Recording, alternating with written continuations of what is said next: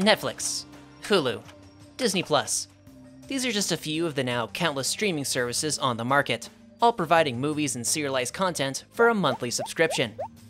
We're all familiar with streaming services, be it binging entire seasons of Stranger Things or watching god awful films out of morbid curiosity. While streaming services were initially quite popular, they've become increasingly unattractive over the past few years. The sheer abundance of streaming services all trying to get your money, the ever rising price and falling value of a subscription, along with a perceived decline in quality, are most frequently blamed for this broad unpopularity. While these aspects of the streaming industry are certainly at fault, they are a consequence of a deeper, more cancerous component of the entertainment industry and corporate America in general. Let's take a look at it.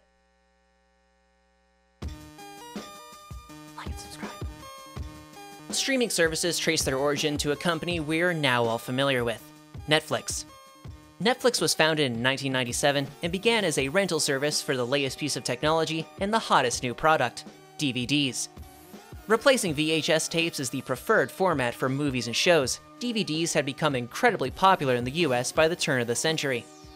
Netflix had the novel idea of mail renting DVDs to their customers, initially on a per rent basis, before moving to an unlimited subscription model.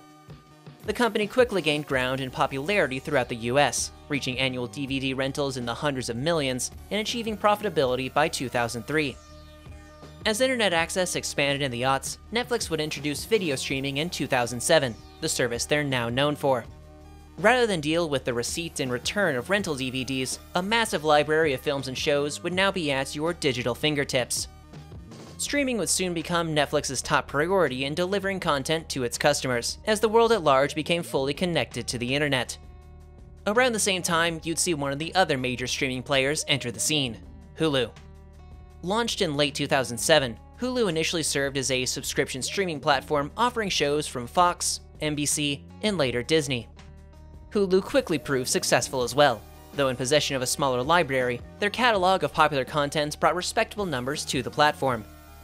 Both Netflix and Hulu were riding high by the 2010s. They were raking in billions in profit every year and were slowly, tortuously killing their primary competition, Blockbuster. Interest in these streaming platforms would only grow with the introduction of exclusive original content. Shows like House of Cards, Orange is the New Black, and The Handmaid's Tale were all acclaimed series that brought huge numbers to both platforms. The expanded collection of titles, be they recent blockbusters or in house shows, made these streaming services must haves for every American household. These streaming services would not be confined solely to the US either.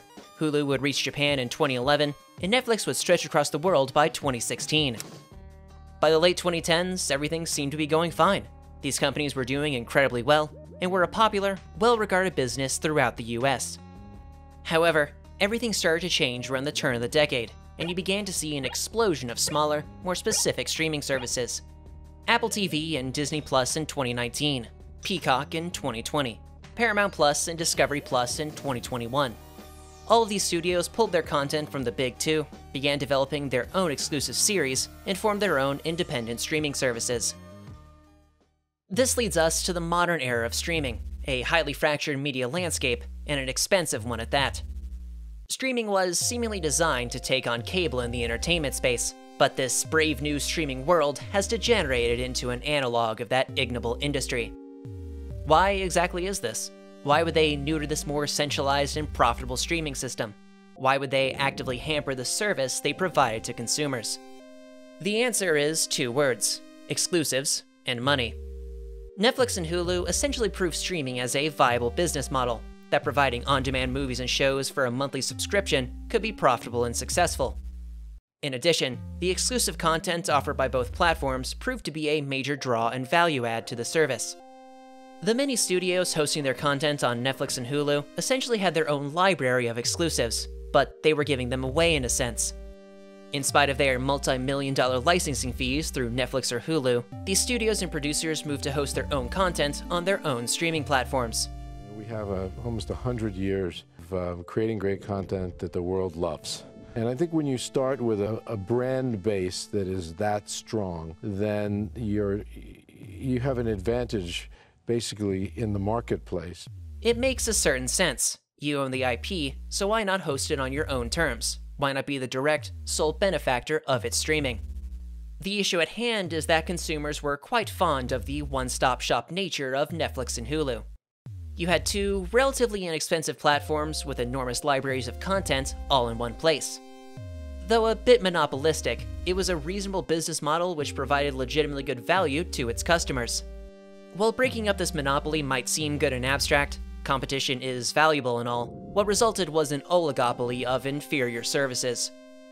Groups like Disney and HBO knew there was demand for their content, that legions of mouth breathers would shell out the 15 bucks a month for uninspired reimaginings of beloved IPs.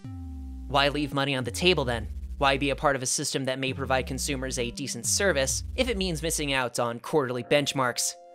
The result has been the death of these centralized, well liked streamers, and the replacement with a number of less content rich alternatives. In other words, to get the same variety of content at your disposal from even five years ago, you have to sign up for around four times as many services and pay at least four times the cost. It's a great system for these streamers. They found yet another way to rake in egregious profits, but for consumers, it's been anything but. The ridiculous number of streaming services at the Avail is seen as an expensive annoyance. If you use any of them, you didn't need me to tell you that. A once valuable service was just made worse, all so they could keep their stock prices up and their investors happy. I want to shift gears now and look more at the why of this streaming fragmentation, the more fundamental reason behind it all. Streaming is an extremely profitable business model, that much has been more than demonstrated. The problem with these mini corporations, however, is that they simply aren't profitable enough. How much is enough, you may ask? Well, the phrase enough profit is something of an oxymoron.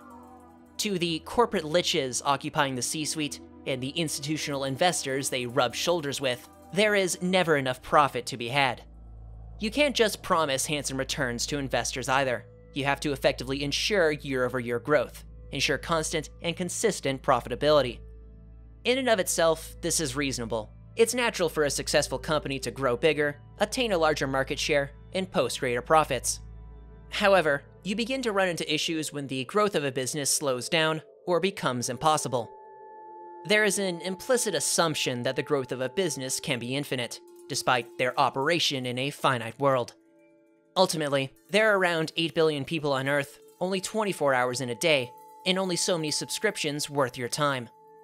Netflix is beginning to run into this problematic reality. Last year, they posted the first decline of their subscriber numbers since their founding. While Netflix has been able to reverse this trend and continue racking up subscriptions, their stock price was brutalized, and the message was sent. The market for streaming is becoming more and more saturated. Netflix can no longer rely on a growing subscription base to provide financial growth. Instead, they have to turn towards their existing subscribers as their means of more reliable growth. This is to say, their plan is to squeeze every last drop from their loyal customers, just to keep their infinite growth fantasies alive, and their stock ticker positive. You see this in their efforts to crack down on password sharing, the introduction of ads in their streaming packages, and just increasing the price of a basic subscription. No one likes these moves. They actively make the product at hand less valuable and less enjoyable. However, it's important to note actual customer satisfaction is not their objective. It never has been. Providing good services and getting happy customers is a useful means to their end of interminable growth, and dropped at the first opportunity. While Netflix is arguably at the forefront of these new anti consumer policies, they will undoubtedly spread to the rest of their industry. Netflix has always been ahead of the curve in terms of streaming. The policies and systems they introduce are typically adopted by competing platforms in due time. The many streaming services out there will gleefully trade whatever qualities they possess for quantities of money, and this will kick into full gear when they too can't rely on natural growth. In short, the decline in quality and value of the streaming industry was a foregone conclusion. When growth and expansion were readily attainable, it was easy to provide a novel, quality service. When competition stiffens just a little and the promise of eternal growth is threatened, any and all quality is immediately forsook for 30 pieces of silver. The slow death and decay of streaming at the hands of our corporate overlords is a shame. There's no questioning that.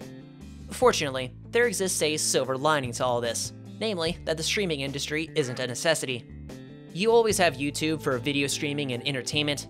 The vast sea of the internet can always be sailed, and if that fails, there's always grass to touch. Were streaming to completely nuke itself tomorrow, something that could honestly happen, reasonable and arguably better forms of entertainment could take its place. While this is some consolation, the broader, unfortunate reality is that these fundamental problems are not consigned to just the streaming industry. From groceries to clothing, from healthcare to housing, every industry in America is enthralled to the same fantasy of eternal growth the pathological need and greed for as much money as possible. The many megacorporations we're all familiar with aren't going to get better. They have neither the incentive nor opportunity to do so. Their opportunities for expansion, both nationally and internationally, have begun to wane. New sources of wealth are slowly drying up in our increasingly globalized economy. The only option for those at the top is to turn to those at the bottom, and like the vampires they are, drain decent folk for all they're worth. This typically involves cutting all the slack in an industry, mindlessly raising prices just to profiteer, and dropping products or services that just aren't profitable enough. They'll stop producing cancer medications because they don't make enough money. They'll jack up your rent 20% because market forces or something. They'll charge you 30 bucks for eggs because fuck you.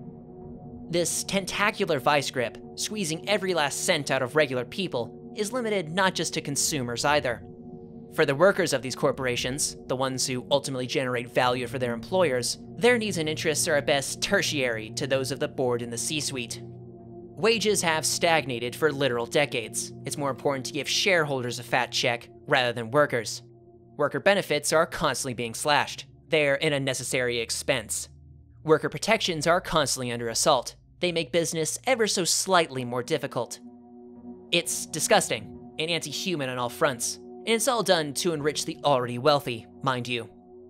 The overwhelming majority of people must simply tolerate vital goods and services slowly getting worse, coupled with less pay and harder work. And for what? So multimillionaires can purchase another gaudy McMansion? So they can buy politicians who'll push for tax cuts or foreign wars?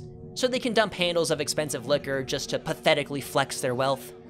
This broader system is absurd at its face, inefficient, unsustainable, nigh feudal in its ultimate distribution of power. To return to the streaming industry, its degradation and financial vampirism, while certainly disappointing, is worse a grim portent of things to come. The megacorporations undergirding our modern economy will never have their hunger, their pathological greed satiated. Their need to see a line go up will never end, and it's only a matter of time before their methods of profiteering grow ever more expensive, extractive, and egregious. Nihilism in the modern world is understandable, if not rational. The way in which our society and economy is structured is gross, unsustainable, and actively cruel. To check out, to let apathy wash over oneself, to deafen your ears and close your eyes to the miserable decay about you, who can blame? However, rather than indulge your nihilism with this video, I'd rather it stoke your anger. When honed and in moderation, anger is one of the best drivers on an individual and historical level. The abolition of slavery, the civil rights movement, the Stonewall riots, movements all imbued with some righteous anger, and all successful. For the most part. The anger, the seething hatred for those who gleefully perpetuate injustice, catalyzed movements against them, and in turn, their downfall. The sociopaths and plutocrats at the top actively hate you, And we need to see that change. We need to see unemployment rise. Unemployment has to jump 40, 50% in my view. We need to see pain in the economy. We need to remind people that they work for the employer, not the other way around. They pat themselves on the back for price gouging and scamming you. They believe your tragedies and misfortunes are ripe opportunities to extract more and more wealth from you. Also, they can burn your money on a Ferrari or weekend LARPing at Burning Man. Never forget this. Never forget the men and women that prioritize their quarterly revenue projections over the regular people they serve and the workers they rely upon. More importantly, never forget there are means of redress for these grievances, namely through collective action. The recent resurgence in union participation is emblematic of this, that more and more people are fully acknowledging the avarice and indifference of those at the top better than this.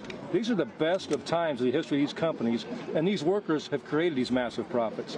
And they continue to be left behind and going backwards. That has to stop. Yeah. Better yet, these collective movements have proven effective. Numerous corporations and even full industries have had successful unionization efforts. Better still, these movements are popular. there's majority support for striking actors and auto workers in the face of their parent company's gargantuan profits.